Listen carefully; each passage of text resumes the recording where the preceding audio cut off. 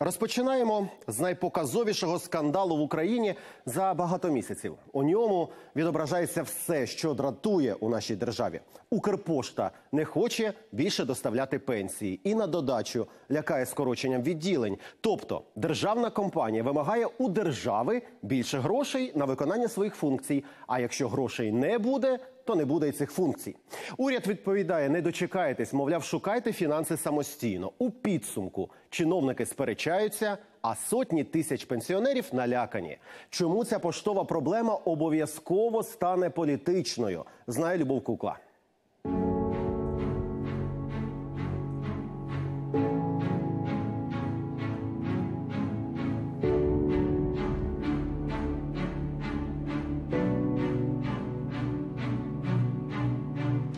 Київщина, село Великі Гуляки. Немаленьке. Тут живуть майже пів тисячі людей. Переважно пенсіонери. Молодь роз'їхалася по містах.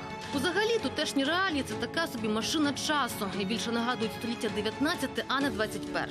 Ані школи, ані медпункту, сільрада, клуб та пошта. І саме пошта це головний зв'язок із цивілізацією. Це для них як ковток свіжого повітря. У невеличкому старенькому відділенні працює всього троє людей. Це катастрофа. Це катастрофа. Наше поштове відділення обслуговують на даний момент три листоноші. І це на три села. Несу ящиків половину немає. Треба нести аж до хати. Ірочка! На доню газетку. на. Іди, давай газетку. Мамі, мамі. Любов Цетенко, листоноша. В селі її навіть заслуженою зробили, бо тричі на тиждень у спеку та холод, дощ та сніг вона долає по сім кілометрів і часто пішки. Отак ідемо і розносимо.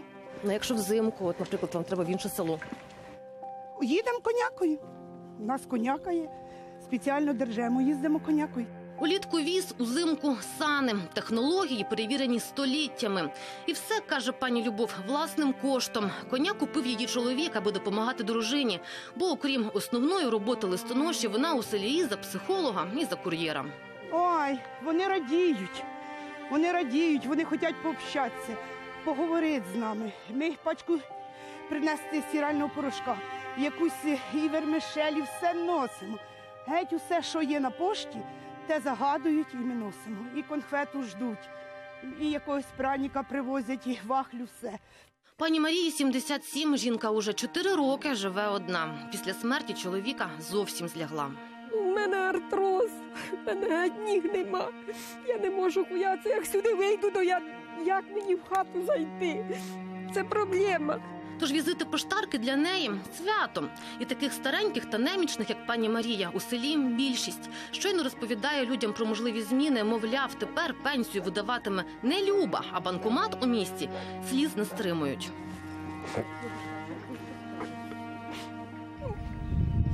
Знаю. А що з того, що я знаю? А що я поїду, по ту, як я ледві того. Я ледві стою на одній нозі, як то каже. Як я можу ту пенсію того е, їздить, получати чи що? Банкоматів у цьому селі ніколи не було. Найближчий населений пункт, де можна зняти гроші з картки аж за 20 кілометрів, куди людям похилого віку дістатися занадто важко, здоров'я не дозволяє. І така ситуація майже по всій країні.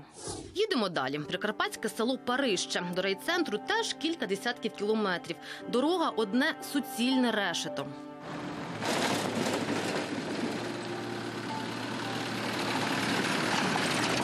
У центрі села невеликий занедбаний будиночок, тутешня пошта. Двоє листонож, які тут працюють, теж для місцевих пенсіонерів справжні рятувальники. Ну а куди баба стара поїде? Наприклад, так як у мене тиски є 200-220. А куди я поїду? Я з лужка не можу встати.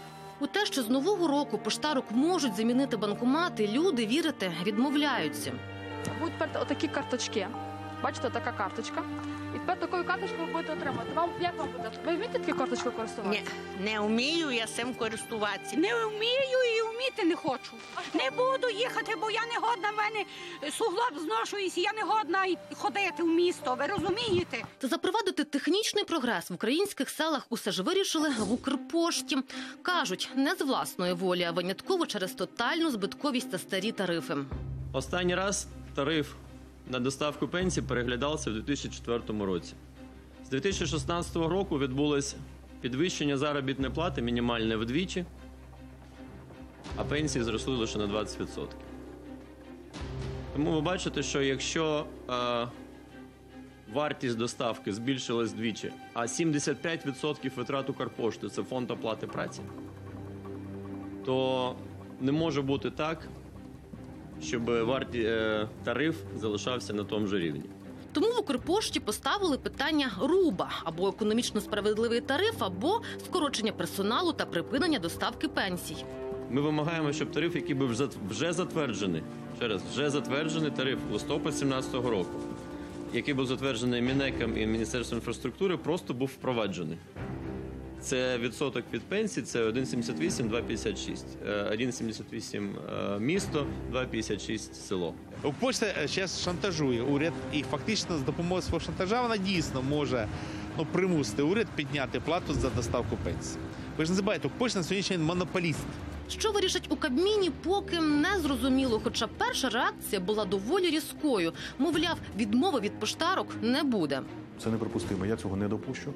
І я можу сказати, що економити хай розпочинають краще з себе і своїх заробітних плат і утримання. Але якщо менеджмент е, і керівництво Укрпошти цього не розуміє, Та хай там яка проблему вирішувати таки потрібно. На перемовини з Укрпоштою вийшли у пенсійному фонді. За доставку пенсії обіцяють платити трохи більше.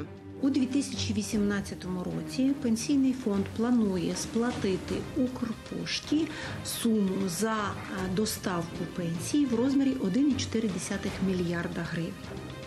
Е, На наступний рік ця сума дещо зростає з урахуванням того, що зростають розміри пенсій. Цей тариф не буде вдвічі більший, як пропонує це зробити Укрпошта. І традиційно нагальні питання маленьких людей будуть вирішувати у високих кабінетах, шукатимуть вихід із політично-фінансового лабіринту.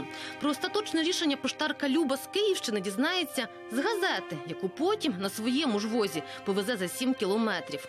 Любов Кукла, Жадан Дудчак, Богдан Вербицький, Сергій Килимник, Ірина Дяченко та Олександр Кузнєцов. Подробиці тижня, телеканал Інтер.